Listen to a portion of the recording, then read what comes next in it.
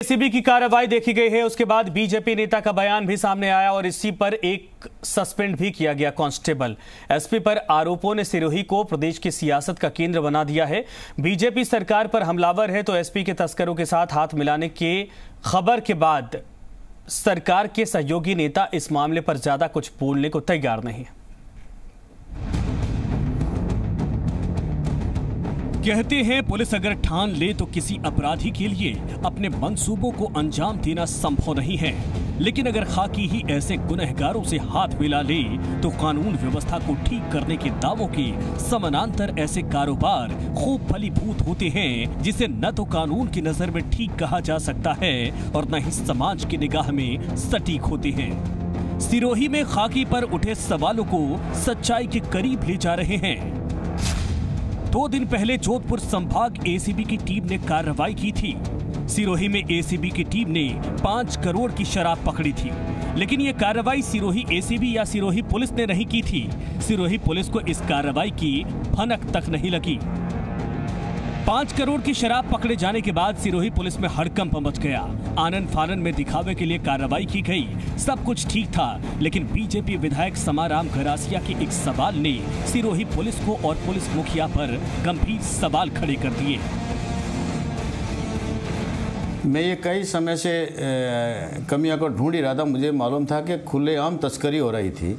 तो मैंने एक मामूली सा ट्वीट किया तो उसको लेकर के पूरा खुलासा सामने आ गया कि कम से कम स्थानीय प्रशासन, जो पुलिस है, जो आबकारी, जो कोई भी हो, लेकिन उदयपुर से जो इसके आबकारी कमिश्नर और पूरी टीम आकर के जो पाँच करोड़ की जो शराब पकड़ी थी 1880 कार्टून तो ये जग ज़ाहिर है कि वास्तव में कई लंबे समय से कारोबार चल रहा था और मिली भगत से चल रहा था। समाराम गरासिया के सवालों को एक बार की आप सियासी सवाल कह सकते हैं, लेकिन सिरोही पुलिस के सस्पेंड हो चुके कांस्टेबल देवेंद्र कुमार ने एसपी पर सीधे आरोप लगाए हैं कि वो खुद रिश्वत लेते हैं और रिश्वत नहीं देने पर ही कांस्टेबल देवेंद्र को सस्पेंड किया गया है। हेड कांस्टेबल तेजाराम ने पैसों की डिमांड भी करी है और उसकी शिकायत मैंने लिखित में डी जी एम एन साहब को भी लिखित में भेजी है। तो ये सारी चीज़ें प्री प्लानिंग करके तमिलनाडु भेजा गया वगैरह। और ये आने के बाद में इस तरह की सस्पेंड वाली कार्रवाई की गई और ये सारी कार्रवाई दारू के तस्करों के कहने पे हो रही है। कांस्टेबल देवेंद्र का आरोप है। डेढ़ महीने पहले शराब तस्कर के खिलाफ कार्रवाई की थी, जिससे सिरोही एसपी उससे नाराज़ हो गए थे। इसके बाद एसपी हिम्मत अभिलाष टाक ने कांस्टेबल देवेंद्र कुमार को एक आरोपी को पकड़ने चेन्नई भेजा, लेकिन देवेंद्र उस आरोपी को पकड़ नहीं पाया और वापस लौट आया। कुछ दिन बाद कांस्टेबल तेजाराम ने देवेंद्र को बुलाया और आरोप लगाया कि उसने आरोपी से तीन लाख की रिश्वत ली है। इस तीन लाख रुपए में डेढ़ लाख रुपए एसपी को देने होंगे। डेढ़ लाख रुपए ना देने पर उसे सस्पेंड कर दिया जाएगा।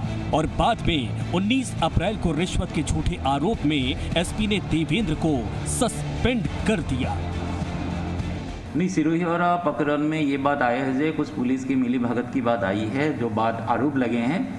इसी हिसाब से मैंने इन आरोपों को जाँच करने के लिए एडिशनल एसपी है, हमारा जालोर में।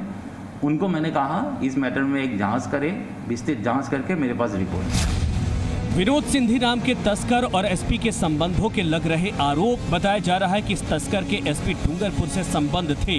हालाँकि अभी तक पुलिस इन रिश्तों की पुष्टि नहीं कर रही है। सिरोही में भ्रष्टाचार के कई बड़े मामले सामने आ चुके हैं। कुछ दिन पहले ही एक तहसीलदार पर कार्रवाई हुई तो तहसीलदार ने बंद दरवाजों में नोटों की गड्डियाँ चलाई थी। ऐसे में आरोप ये भी लगते हैं कि क्या ऐसे भ्रष्ट अधिकारियों पर सियासी आशीर्वाद होता है? अगर नहीं तो ऐसे भ्रष्ट अधिकारी सिस्टम में अपनी जड़ें कैसे मज़बूत कर लेते हैं और कार्रवाई के चंद दिनों में वो फिर से पद पर कैसे बैठ जाते हैं? आरोप तमाम हैं। आरोपों पर सियासत भी जारी है, लेकिन सच्चाई क्या निकल कर सामने आएगी, ये तो आने वाले वक्त में ही पता चल पाएगा। सिरोही से साकेत गोयल और जोधपुर से भवानी भाटी सी मीडिया